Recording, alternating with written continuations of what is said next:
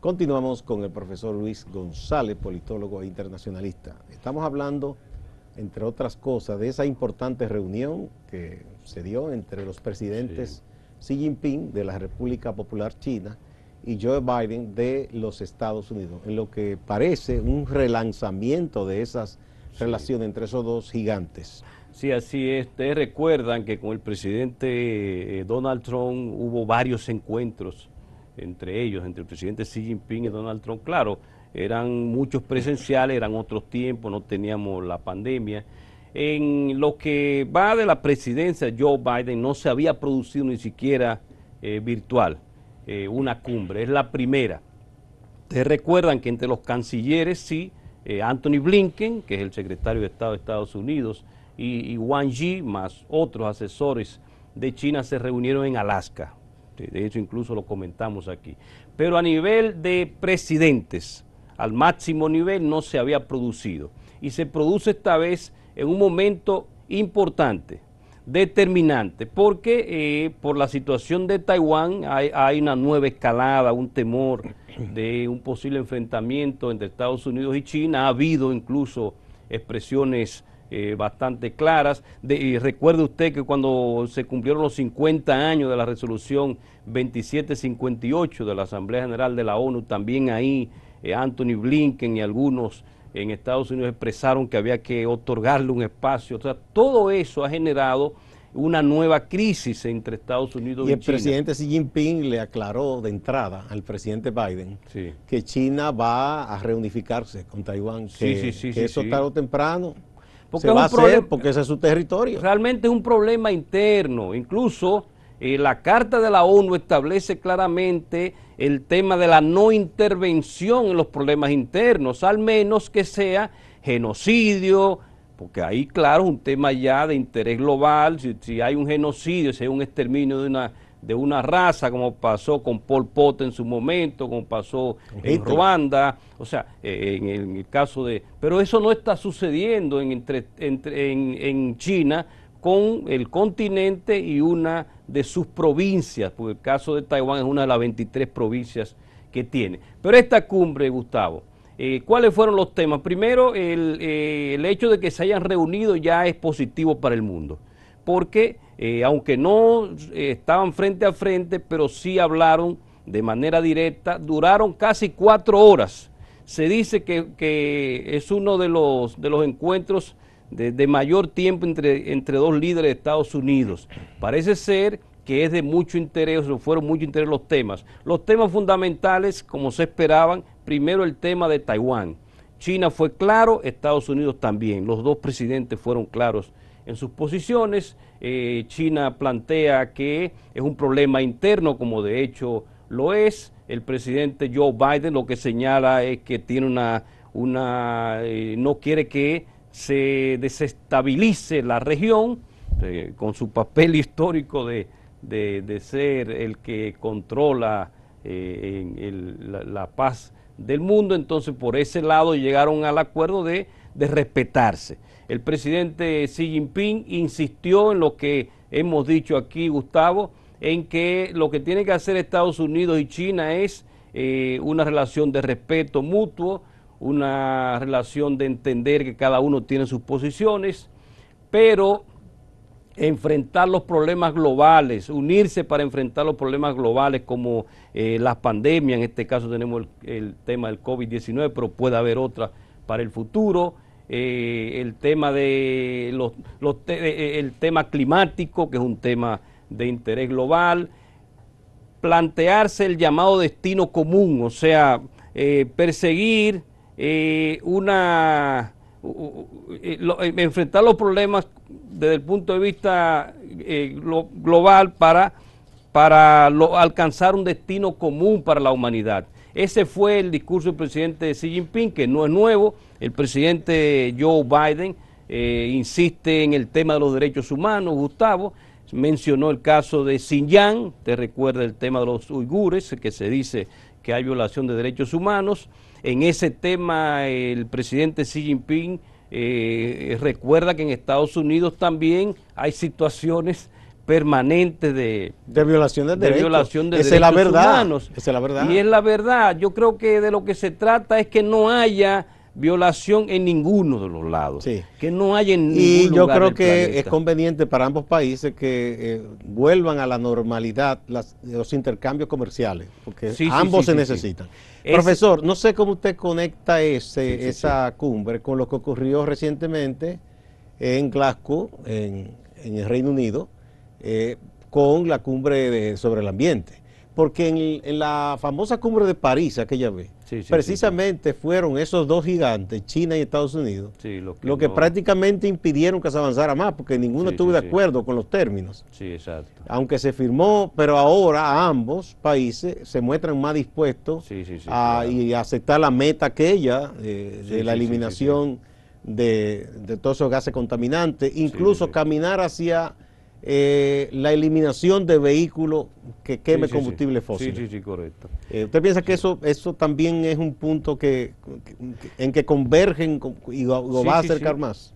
Eh, sí, incluso se vinculan los temas porque es un tema que se tocó también en la reunión, el tema de enfrentar eh, el, eh, el cambio climático, que, es un problema global. Estados Unidos y China, como usted lo dijo, en su momento no estuvieron de acuerdo porque eran las mayores potencias, o siguen siendo también las mayores potencias desde el punto de vista industrial, aunque China se supone que no es un país industrializado en el sentido eh, en el sentido de que es una, incluso no estaba, nunca ocupó un lugar- un espacio en el G7 que luego se convirtió en G8, porque es un país en vía de desarrollo, todavía así es como China. Pero todos sabemos que de los mayores emisores de gases de efecto invernadero, de CO2, es China en, en el Porque mundo. esta es una economía que está creciendo ahora. Exacto, y Estados es la fábrica del mundo.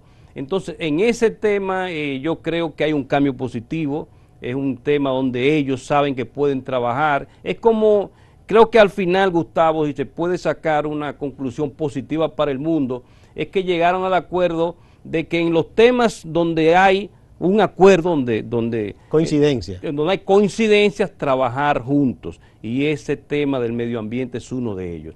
Y en los temas donde hay diferencias, tratar de respetarse y ver hasta dónde pueden luego llegar a un acuerdo. Ese fue, diríamos, después de tres horas de, de- de encuentro de, de- entre los dos presidentes, diríamos que esa fue la conclusión positiva, reitero, para el mundo, para Estados Unidos y el mismo Joe Biden, que la situación no está eh, muy eh, internamente, no está muy positiva, incluso está sonando hasta la figura de Donald Trump, ya se están hasta midiendo un posible, que yo siempre lo he dicho, Donald Trump puede ser candidato y no se descarta que sea un candidato que compita con el que se repostule, puede ser Joe Biden, que dicen que por la edad quizá no se repostule y sea Kamala Harris, pero como quiera estamos muy temprano para eso. Pero de esta cumbre y lo que usted me pregunta, si hay una vinculación, creo que eh, China ha sido muy, incluso uno de los temas eh, de la crisis energética de China internet, porque China ha ido eh, dejando de lado el carbón para utilizar más energías alternativas y se ha enfocado mucho en eso. El mayor productor de autos eléctricos del planeta, Gustavo, y el que tiene más autos en sus carreteras eléctricas del mundo es China. Eh, eh, de manera que en ese tema China va muy avanzado y la idea es que para el 2030 ya cumpla con lo que establece precisamente eh, esa... Bueno, en la es- otra, en la otra área en que China también está a la vanguardia es en todas estas tecnologías respecto a la red, el 5G y todo eso. Sí, sí, sí. Eh, es la verdad, o sea, está superando tanto a. Japón, a Estados Unidos como a Europa. Sí, sí, Hay sus celos de Estados Unidos con eso, porque no quieren que los países eh, para esa tecnología hagan convenio con China, pero es que China está a la vanguardia. Vamos a una pausa de nuevo y volvemos, profesor. Sí, así es.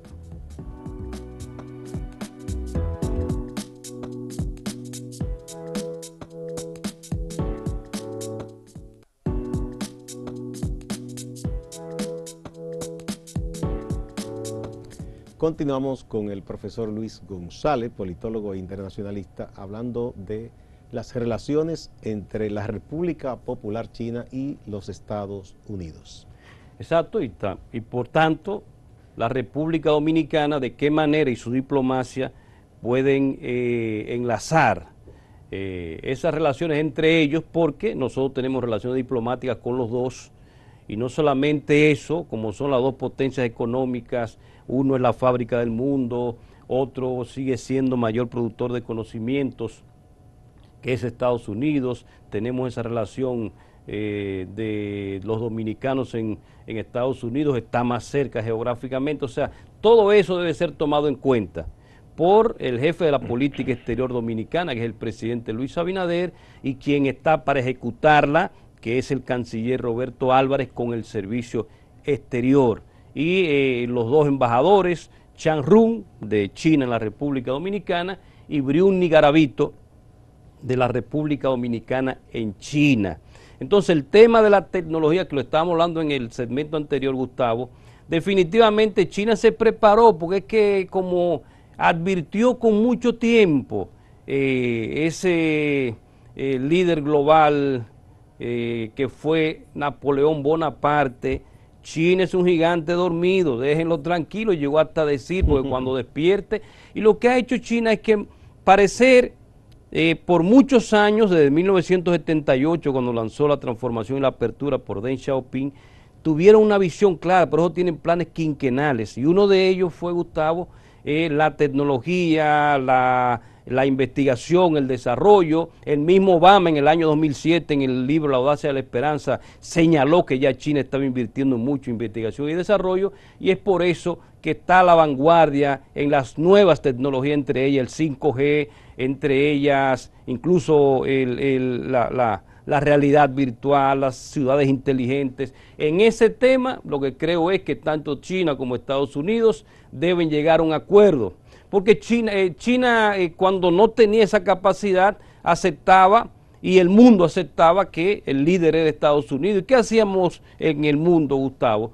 Que asumíamos la tecnología estadounidense sin problema. Entonces lo que hay que aceptar es que si es Europa, si es Estados Unidos, si es China, si es Israel, que también es un productor de conocimiento importante, es llegar a un acuerdo entre todos para avanzar, pero no eh, impedir el desarrollo de otro cuando en tu momento, cuando tú fuiste líder en todos los sectores, el mundo te En su momento, por ejemplo, los japoneses eh, fueron líderes con eh, toda esta nanotecnología, cuando comenzaron a fabricar eh, televisores de transistores, radio de transistores, y todo el mundo se guió de Japón en ese momento. Así mismo, en ese momento Estados Unidos no vio nunca a Japón como, como, una, como un enemigo, ¿no? Como un enemigo ni una amenaza porque eran más aliados de lo que son ahora Estados Unidos. Lo que yo, lo que, y usted lo mencionó muy bien, lo que yo creo que Estados Unidos debe ver eso, lo que sucedió con Japón en su momento, llegar a un acuerdo para que los productos donde se necesite algo de que, los chinos están más avanzados, entonces se toma desde China. Ahora, parece que la política interna norteamericana eh, es un poco, le causa ruido a que, se, a que Estados Unidos tenga unas relaciones más armónicas con China. Porque siempre aparece uno que otro líder que quiere ser más derechista de la cuenta, liderar ese pensamiento, diciendo que no, que nuestro único, la única China para nosotros debe ser Taiwán, y que entonces que repiten una mentira. China nos roba los empleos, China no se roba nada. Esas inversiones norteamericanas fueron ahí a buscar ventaja. Exactamente. Y obviamente que si están en China tienen que emplear chinos. ¿Qué esperaban ellos? Exactamente, el capital es así, pero con ese tema, ya que usted lo mencionó, hay que tener mucho cuidado. Es que hay una resolución de la Asamblea General, que es el Parlamento de la Humanidad, de la ONU, la 2758, que establece que la única China que existe es la República Popular China y que Taiwán es parte de ello. Resolución que al final, aunque, Estados Unidos votó en contra, como la República Dominicana, ya es la que rige eh, eh, esa, esa realidad. Estados Unidos ha aceptado del primero de enero de 1979, que estableció relaciones con China, el principio de una sola China y lo ha mantenido y lo reiteró Gustavo ahora el presidente Joe Biden en esa cumbre que tuvieron. Reiteró que reconoce y acepta el principio de una sola China. Es bueno que el mundo tenga, ¿verdad?, este, estos escenarios eh, sin tanta tensión, que no son buenas esas tensiones para nadie, ni para esos dos países ni para el mundo. Muchas gracias, profesor Luis González. A ustedes también, amigas y amigos, no se vayan que siempre hay más en Acento TV y Acento Portal.